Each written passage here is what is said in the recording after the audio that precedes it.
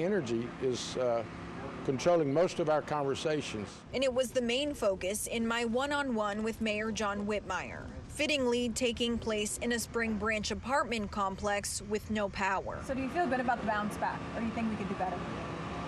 I feel very good about it. I don't know, I don't know of an area that we're lacking in other than neglect from years of neglect. What's been neglected, according to Whitmire, is some of the city's infrastructure. It gets back to resilience. Resilience needs multiple solutions at multiple levels. And that's where I think things are evolving but technology is perhaps you know, a step or two behind. Dr. Ramanan Krishnamoorti, who specializes in energy and innovation, says putting power lines underground might solve one problem, but could create another. We start to put a lot more of these wires underground. And the next thing we know, we get something like a Hurricane Harvey like flood event, right?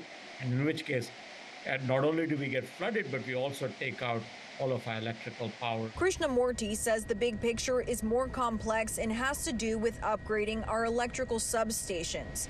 He says we aren't in the best position going into hurricane season, but at least those storms give us time to prepare. By making sure know, our trees aren't getting too close to those overhead power lines.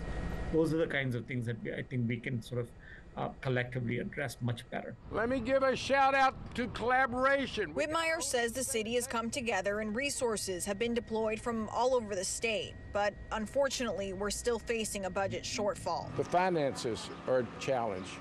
Uh, we're going to get through this season. If somebody can point to something uh, we can do better, I'm always open to suggestions. In Spring Branch, I'm Alex Bozarjian, ABC 13 Eyewitness News.